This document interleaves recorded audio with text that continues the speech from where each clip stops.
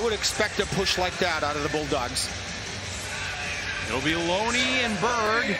And Minnesota Duluth, good start right at the bat. Well, they had the faceoff win, but Gaber comes bearing down and but to be able to stack those games together down the stretch, that's going to be needed. Draw one by the Bulldogs, and everything has been key of winning faceoff, something Minnesota Duluth has struggled with, but Biondi gets a quality shot on net. Hoping to be eligible next year. Steeves from his spot winds and fires again. Two shots here he's got on this shift, shot. and he's looking for another. Three with a power play, but nothing to show for. A couple of good shots by Ben Steeves. Here's Dubinsky skating in. He fires one in. Nearly deflected. And she'll play college hockey out east. Yeah, she's going to go play D3 hockey at Nazareth from Rochester, New York. Gavers fires. Good leg pad save by Thiessen, who has looked pretty calm and comfortable in that. Maybe even better and more humble human being than you can ever imagine. Dylan James skating in. North Dakota with a chance. They're going to get a goal, maybe. No goal. They'll get it's a power play. Be, so he'll head to the box. Here's the play. So watch Shamrock in front. Gets tied up. Watch watch this play if it keeps rolling. Now, right on the left of the screen there, if it have kept rolling on that other angle. Keep an eye on 26 right here. Well, North Dakota, what makes this power play so good, they take what's given to them. Blake winds and fires. Fan out of Perron on the doorstep for the rebound.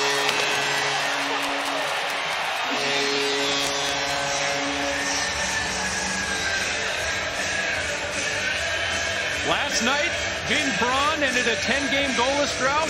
Back-to-back -back games with a goal. Again, I was telling, saying North Dakota, they're just taking what's available. They, Livanovich had to take a couple shots from the point because nothing was open. This is an unfortunate bounce for Minnesota Duluth. You sacrifice the body, you go down. Derek Goetz does a great job of blocking that. It's just unfortunately it goes right to the stick of Jayden Perron. The story of their season, really, a team that's just taken way too many penalties. Good start here, though, for the Bulldogs as they win the all-important faceoff. He's played a lot of games against the Fighting Hawks. Number Quinn 14 Olson. tonight. Here comes Omak off the face mask of Thiessen. His rights. Luke Loheit, who was drafted by Ottawa, chose not to sign and, and, move on. And Quinn Olson still, his rights are until like I believe August 15th of this year. There was the shot opportunity. Mangini into Livanovich. Freshman on freshman crime right there. Here comes Blake, working around Pionk, still on his feet, and the score! Jackson Blake.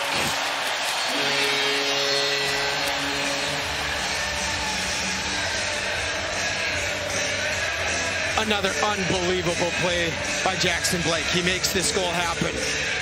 This is a disrupted puck, kicks it up, somehow gets around, fights through a check, and then hits his head up and puts just a laser right over to Coons, who just taps that back door. Jackson Blake having himself one heck of a weekend here and continues to deliver in night two for his second assist of the night. Two points here tonight. Played Now on in the in the uh, NHL with uh, Ottawa. And now it's Livanovich passing, as you mentioned, Paul Ledoux, former Grand Forks Central great, with 22 points. That puck right behind Persson. It's going to sneak in. I think that shot originally came from Dubinsky. Ludvig Persson stopped, but it kind of trickled down through his legs. He caught him up high, it looked like, and kind of weirdly bounced down through him and trickled behind and had enough momentum on it to just get behind. Well, does the goaltender get pushed there? You wonder. Are they going to challenge this? I, I, mean, the puck's probably going to go in, but I, I, yeah. Gather the puck.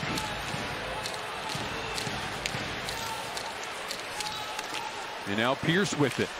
Over to Dubinsky. One timer, he That's scores! goal. Yep, that went in. Second one of the night for Dubinsky. We'll see. Maybe there's a deflection out front, but Minnesota Duluth ties up this hockey game. Alongside the boards, it's a shot point that I think gets dipped in front. By Smith.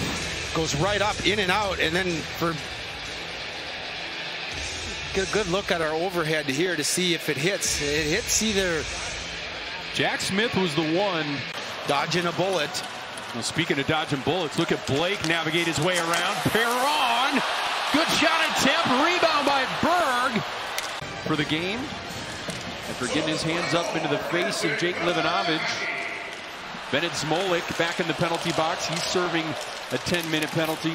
Dangerous area. Yeah, you said it. Close call. Minnesota does not want to spend any more time. Short-handed. James with a nice move. Slashing to the net. What a goal!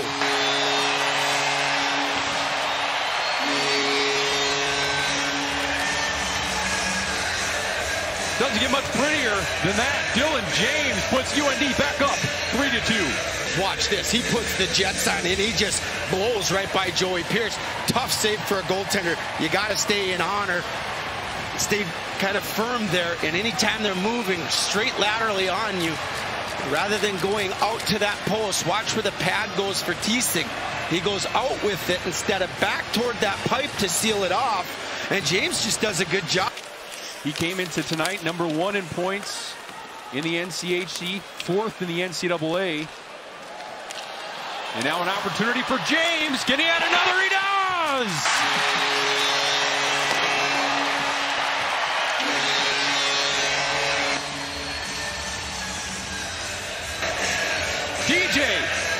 The hits. But what a great job. Look at this.